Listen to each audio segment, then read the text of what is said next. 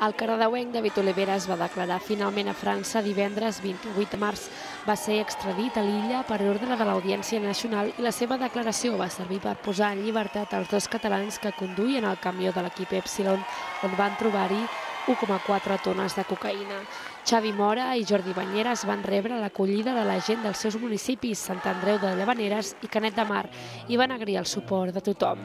Sobre l'emboscada apel·len a l'organització del Dakar perquè resolgui els problemes de seguretat que hi ha. Qui té ara un problema és l'organització, ens ha d'assegurar que ells eh, ens poden garantir la seguretat de que això no torni a passar, no? perquè si no jo seré el primer que em presentaré a buscar el camió a l'Eabre però no ho faré sol, ho faré amb, amb la policia perquè jo no vull tornar-me a trobar en aquesta situació.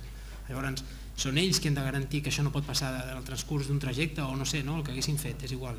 Tot són especulacions. Ara, que ells tenen un problema està claríssim i això, quan vinguin a fer la presentació aquí a Espanya del Dakar, és un tema que evidentment hi hauran parlat o hi estaran parlant ara, això segur. Mentrestant, el director de l'equip, David Oliveres, continua empresonat a França.